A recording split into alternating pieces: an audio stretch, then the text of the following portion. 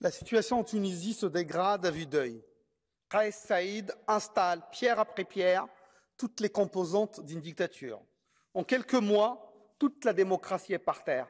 Séparation des pouvoirs, système judiciaire, liberté de la presse, droits humains, tissu associatif. La démocratie a une nouvelle page de déchirer. Les maires élus ont été démis de leurs fonctions.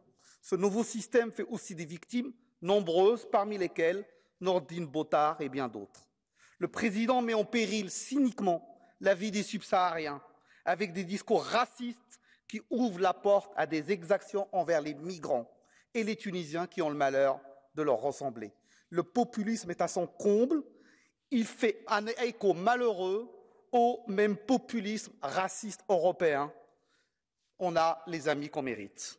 Il est temps de condamner clairement ce régime. Il est temps de s'assurer qu'aucun financement européen ne serve directement ou indirectement l'installation de cette dictature et les violations du droit humain. Notre responsabilité est immense. Restons aux côtés de celles et ceux qui défendent encore le droit et la démocratie en Tunisie. Merci.